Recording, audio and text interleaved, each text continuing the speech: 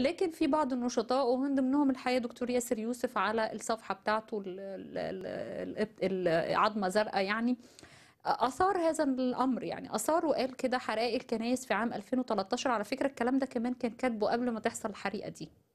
يعني وده برضو الغريب إنه يعني إن إحنا إن هو توقف عند الكنايس وبعدين يعني أنا حتى كتبت له في التعليق وضيف عليها كمان الكنيسة بتاعة الكنيسة العذراء. هو في تعجب لأنه يعني ليه ليه كل الكنايس دي إحنا يعني إحنا مش عايزين حاجة تاني تتحرق في مصر بس إحنا يعني دلوقتي بنسمع عن كم حرائق كتير للكنايس وده حاجة صعبة يعني.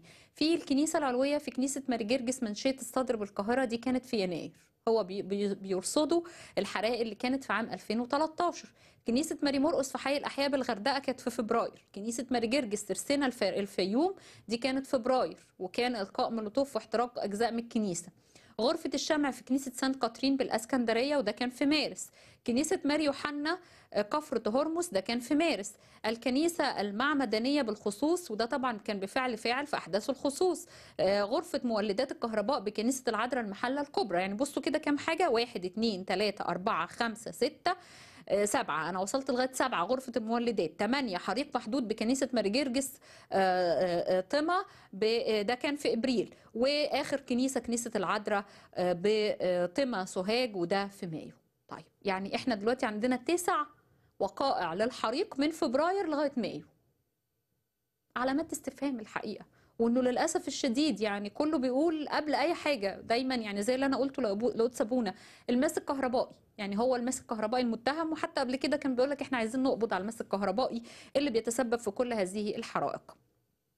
الحاجة التانية بقى أربعة كنايس في أسبوع واحد. أصبحت مشكلة كنائس الأقباط مشكلة يومية.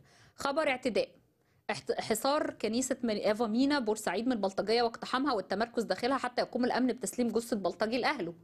هو ليه الدنيا ما بتجيش غير عند كنايس يعني لو انت عايز تهاجم بلطجية أصل دي اتكررت هنا واتكررت عند كنيسة آه، يعني الجاناكليس في اسكندرية. فانت يعني ففي إيه؟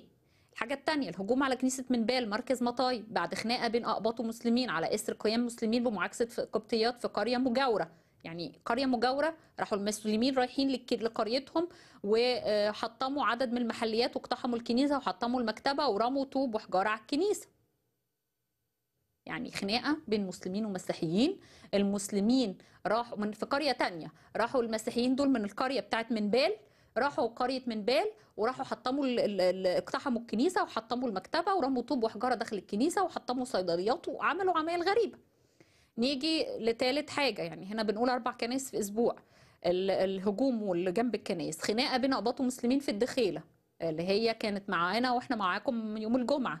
تتطور إلى حصار للكنيسة هناك وحرق جزء من بابها الخلفي وإلقاء مولوتوف وسقوط شاب قبطي قتيل. ولا آه، يعني هو وبعدين بعد ما اتقتل واتقال بالخرطوش نلاقي الحكومة الحقيقة طبعا الحكومة أدرى من من كل الناس يعني قالت إن هو مات بالسكتة القلبية. زي ما الجندي مات بحادثة عربية وزي ما الحسيني أبو ضيف كان تبع الإخوان والشريرين هم يعني حاجات كتير كده غريبة بتحصل يعني. رابع حاجة قام الأمن في المنيا بإيقاف توسيعات كنيسة قرية طحا الأعمدة ومنع البدء في بناء مبنى خدمات هناك حاصل على ترخيص من قبل أي من من قبل أيام. والدكتور مرسي والأمن أوقف البناء بحجة إن خوف من إن فتنة قد تقع. كل ده حصل في أسبوع واحد الهجوم ده.